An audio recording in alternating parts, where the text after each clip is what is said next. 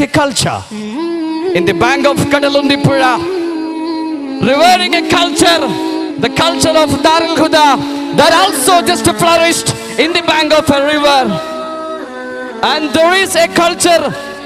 far miles away from Darul Huda just began to flourish in the bank of Brahmaputra, the culture of Darul Huda in the name of